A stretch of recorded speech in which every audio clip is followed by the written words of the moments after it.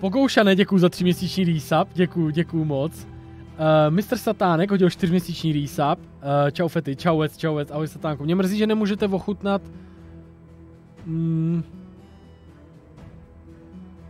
Jediný, čím jsi mě získal, tak díky Bohdanovi Tumovi, jinak si odpad jako všechna naše scéna, smutné no. to je kokot. Děkuju, děkuju chlape, děkuju ti za lichotku, že jsem si tě získal, ale vlastně jsem úplně k píči. Eh, že jsem tady zapromoval něco a vydělal jsem peníze teďka, že? Ano, tohle mě živí stejně jako tebe tvoje práce. A já ti každopádně děkuju a vážím si toho, je to vlastně pěkný komentář, takže děkuju. Ale já už jsem dostal nejvíc jako komentářů a dlouho mě nepomavil, jako získal si mě díky Boranu tu nový, jinak jsi stejný odpad, vole, jako všichni ostatní, vole.